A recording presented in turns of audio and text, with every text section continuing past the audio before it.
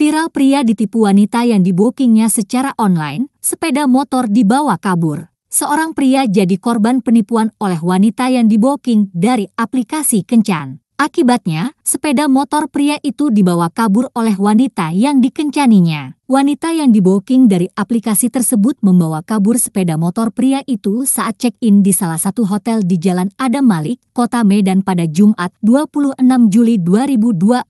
Tak sendiri, wanita itu membawa kabur sepeda motor itu dibantu oleh dua orang teman prianya. Momen saat wanita dan rekannya itu beraksi bawa kabur sepeda motor dari parkiran hotel itu terekam kamera CCTV. Dalam keterangan unggahan itu, korban menjelaskan bahwa insiden yang menimpanya itu bermula saat-saat ia bertemu wanita bookingannya itu di hotel. Saat di hotel, keduanya sempat berbincang hingga akhirnya pria itu tertidur. Saat lengah dan tertidur pulas, sekitar pukul 4.06 pagi, wanita itu kemudian beraksi dan sekongkol dengan dua orang prianya. Tampak dalam video itu, wanita itu membukakan pintu untuk rekan laki-lakinya. Terlihat saat itu suasana parkiran yang berada di dalam hotel sepi sehingga pelaku dengan leluasa membawa kabur sepeda motor itu. Alhasil sepeda motor milik korban raib dibawa kabur wanita dan rekan prianya itu. Saat terbangun dari tidurnya, ia kemudian melihat wanita tersebut tak ada lagi di sisinya.